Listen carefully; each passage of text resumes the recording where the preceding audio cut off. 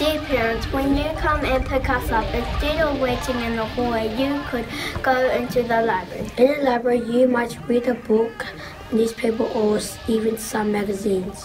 While you are waiting, you might have a cup of tea or coffee. You might like to look at the art on the wall or preschoolers can be creative with a Lego. Another option is just put your feet up in our warm library. Our library is an awesome place, so we will see you there. Bye.